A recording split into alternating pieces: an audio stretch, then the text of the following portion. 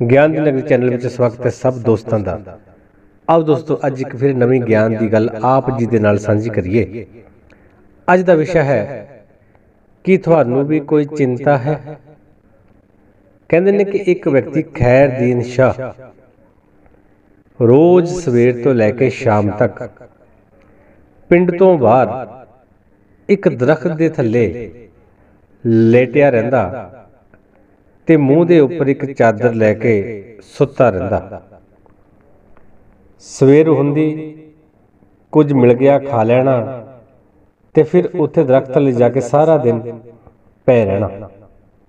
ਵੱਧ ਕਿਸੇ ਨੂੰ ਬੁਲਾਉਣਾ ਨਹੀਂ, ਕਿਸੇ ਨਾਲ ਝਗੜਨਾ ਨਹੀਂ, ਕੋਈ ਲੜਾਈ ਨਹੀਂ।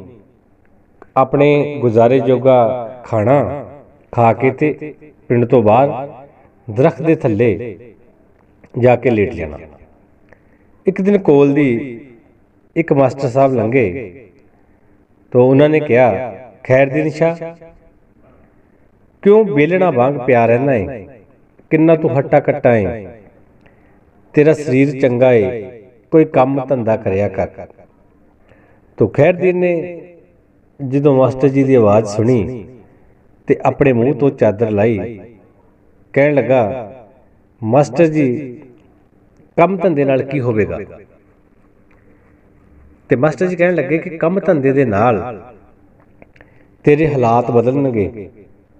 ਤੂੰ ਵਿਆਹ ਕਰਾ ਸਕਦਾ ਹੈ ਚਾਰ ਪੈਸੇ ਕਮਾ, ਪੈਸੇ ਜੋੜ, ਬਿਮਾਰੀ ਦੇ ਵਿੱਚ ਤੇਰੇ ਕੰਮ ਆਉਣਗੇ, ਤੇਰਾ ਵਿਆਹ ਹੋਵੇਗਾ, ਤੇਰੇ ਬੱਚੇ ਹੋਣਗੇ, ਤੂੰ ਜ਼ਿੰਦਗੀ ਦੇ ਵਿੱਚ ਅੱਗੇ ਵਧੇਗਾ ਤੇ ਤੈਨੂੰ ਖੁਸ਼ੀ ਤੇ ਆਨੰਦ ਪ੍ਰਾਪਤ ਹੋਵੇਗਾ।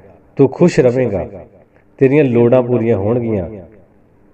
ਤੋ ਇਹ ਗੱਲ ਜਦੋਂ ਖੈਰ ਦਿਨ ਸ਼ਾਹ ਨੇ ਸੁਣੀ ਤੇ ਕਹਿਣ ਲੱਗਾ, ਮਾਸਟਰ ਜੀ, ਮੈਂ ਤਾਂ ਹੁਣ ਵੀ ਆਨੰਦ ਵਿੱਚ ਹਾਂ। ਮੈਨੂੰ ਕੋਈ ਚਿੰਤਾ ਨਹੀਂ, ਕੋਈ ਦੁੱਖ ਨਹੀਂ, ਕੋਈ ਤਕਲੀਫ ਨਹੀਂ। ਫਿਰ ਇੰਨੇ ਸਾਰੇ ਝੰਜਟ ਕਰਨ ਤੋਂ ਬਾਅਦ ਮੈਂ ਕਿਉਂ ਚਿੰਤਾ ਪ੍ਰਾਪਤ ਕਰਾਂ? ਤੋਂ ਗੱਲ ਸੋਚਣ ਦੀ ਇਹ ਹੈ ਕਿ ਅਸੀਂ ਵੀ ਰੋਜ਼ ਚਿੰਤਾ ਦੇ ਵਿੱਚ ਘਿਰੇ ਰਹਿੰਦੇ ਹਾਂ। ਚਿੰਤਾ ਦੇ ਵਿੱਚ ਘਿਰੇ ਰਹਿਣ ਦੇ ਨਾਲ ਸਾਡਾ ਮਸਲਾ ਹੱਲ ਨਹੀਂ ਹੁੰਦਾ। ਇਸ ਦਾ ਇੱਕ ਵੱਡਾ ਕਾਰਨ ਹੈ ਕਿ ਚਿੰਤਾ ਸਾਨੂੰ ਰੋਗ ਲੱਗ ਜਾਂਦੀ ਹੈ ਤੇ ਇੱਕ ਸਾਡੀ ਸਰੀਰ ਨੂੰ ਖੋਖਲਾ ਕਰੀ ਜਾਂਦੀ ਹੈ। ਇੱਕ ਕੰਮ ਕਰਨ ਦੀ ਲੋੜ ਹੈ। ਅਗਰ ਅਸੀਂ ਵੀ ਚਿੰਤਾ ਦੇ ਵਿੱਚ ਘਿਰੇ ਰਹਿੰਦੇ ਹਾਂ ਕਿਸੇ ਨੂੰ ਖਾਣ ਦੀ ਚਿੰਤਾ ਹੈ ਕਿਸੇ ਨੂੰ ਪਹਿਨਣ ਦੀ ਚਿੰਤਾ ਹੈ ਕਿਸੇ ਨੂੰ ਕੰਮ ਦੀ ਚਿੰਤਾ ਹੈ ਕਿਸੇ ਨੂੰ ਬੱਚਿਆਂ ਦੀ ਚਿੰਤਾ ਹੈ ਇਹ ਜਿਹੜੀ ਚਿੰਤਾ ਹੈ, ਇਹ ਸਾਨੂੰ ਚਿੰਤਾ ਚਿਤਾ ਤੱਕ ਲੈ ਕੇ ਜਾ ਰਹੀ ਹੈ। ਅਗਰ ਅਸੀਂ ਆਪਣੇ ਇਸ ਚਿੰਤਾ ਨੂੰ ਥੋੜਾ ਜਿਹਾ ਚੀਰ ਪਾੜ ਕਰਕੇ ਦੇਖੀਏ ਕਿ ਇਸ ਦਾ ਸਾਨੂੰ ਕੀ ਫਾਇਦਾ ਹੋਵੇਗਾ, ਕੀ ਨੁਕਸਾਨ ਹੋਵੇਗਾ। ਸਵੇਰ ਦੀ ਅੱਖ ਖੁੱਲਣ ਤੋਂ ਲੈ ਕੇ ਸ਼ਾਮ ਦੇ ਸੌਣੇ ਤੱਕ ਅਸੀਂ ਸਾਰਾ ਦਿਨ ਕਈ ਵਾਰੀ ਚਿੰਤਾ ਦੇ ਵਿੱਚ, ਫਜ਼ੂਲ ਦੇ ਵਿਚਾਰਾਂ ਨੂੰ ਆਪਣੇ ਦਿਮਾਗ ਦੇ ਵਿੱਚ ਘਰ ਦੇ ਕੇ ਅਸੀਂ ਆਪਣੇ ਸਰੀਰ ਨੂੰ ਖਰਾਬ ਕਰੀ ਜਾ ਰਹੇ ਹਾਂ। ਅਗਰ ਅਸੀਂ ਥੋੜਾ ਜਿਹਾ ਸੋਚੀਏ ਕਿ ਜਿਹੜੀ ਚਿੰਤਾ ਅਸੀਂ ਕਰਕੇ ਬੈਠੇ ਹਾਂ, ਇਹਦੇ ਨਾਲ ਸਾਡੀ ਜਾਨ ਜਾ ਸਕਦੀ ਹੈ। ਜੇ ਤੁਹਾਡੀ ਜਾਨ ਨਹੀਂ ਜਾ ਸਕਦੀ, ਤੇ ਫਿਰ ਤੁਹਾਨੂੰ ਕਿਸੇ ਗੱਲ ਦੀ ਚਿੰਤਾ ਨਹੀਂ। ਜਿਹੜੀ ਚਿੰਤਾ ਹੈ, ਉਸ ਨੂੰ ਉਸ ਦੇ ਬਾਰੇ ਸੋਚਣ ਦੀ ਬਜਾਏ ਉਸ ਮਸਲੇ ਤੇ ਸੋਚਿਆ ਜਾਵੇ ਜਿਹਦੇ ਨਾਲ ਇਹ ਚਿੰਤਾ ਦੂਰ ਹੋ ਸਕਦੀ ਹੈ। ਅਗਰ ਕਿਸੇ ਨੂੰ ਕੰਮ ਦੀ ਚਿੰਤਾ ਹੈ ਕਿ ਮੇਰਾ ਕੰਮ ਨਹੀਂ ਚੱਲਦਾ ਤੇ ਬਜਾਏ ਚਿੰਤਾ ਲੈਣ ਦੇ ਕਿ ਕੰਮ ਨਹੀਂ ਚੱਲਦਾ, ਉਹ ਕਾਰਨ ਲੱਭੇ ਜਾਣ ਕਿਨਾਂ ਕਰਕੇ ਕੰਮ ਨਹੀਂ ਚੱਲਦਾ ਤੇ ਉਹ ਹੱਲ ਲੱਭੇ ਜਾਣ ਜਿਨ੍ਹਾਂ ਦੇ ਨਾਲ ਕੰਮ ਚੱਲੇਗਾ। ਤੋ ਕਹਿੰਦੇ ਨੇ ਕਿ ਅਸੀਂ ਅਗਰ ਚਿੰਤਾ ਤੇ ਕਾਬੂ ਪਾ ਲਈਏ। ਚਿੰਤਾ ਕਰਨੀ ਛੱਡ ਦਈਏ। ਤੇ 80% ਬਿਮਾਰੀਆਂ ਸਾਡੇ ਸਰੀਰ ਦੇ ਵਿੱਚੋਂ ਆਪਣੇ ਆਪ ਖਤਮ ਹੋ ਜਾਂਦੀਆਂ ਨੇ।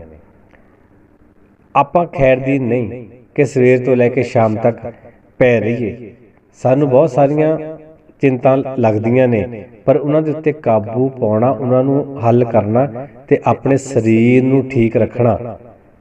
ਇਹ ਸਭ ਤੋਂ ਵੱਡੀ ਚਿੰਤਾ ਇੱਕ ਕਰਨੀ ਚਾਹੀਦੀ ਹੈ ਕਿ ਆਪਣੇ ਸਰੀਰ ਨੂੰ ਠੀਕ ਰਵੇ ਸਰੀਰ ਨਾ ਸਾਡਾ ਖਰਾਬ ਹੋਵੇ ਅਗਰ ਸਾਡਾ ਸਰੀਰ ਠੀਕ ਹੈ ਤੇ ਅਸੀਂ ਸਭ ਕੁਝ ਪ੍ਰਾਪਤ ਕਰ ਸਕਦੇ ਹਾਂ तो आज लेना ही जल्द हाजिर होगा नवे वीडियो नाल तद तक ले हक मुर्शद सच मुर्शद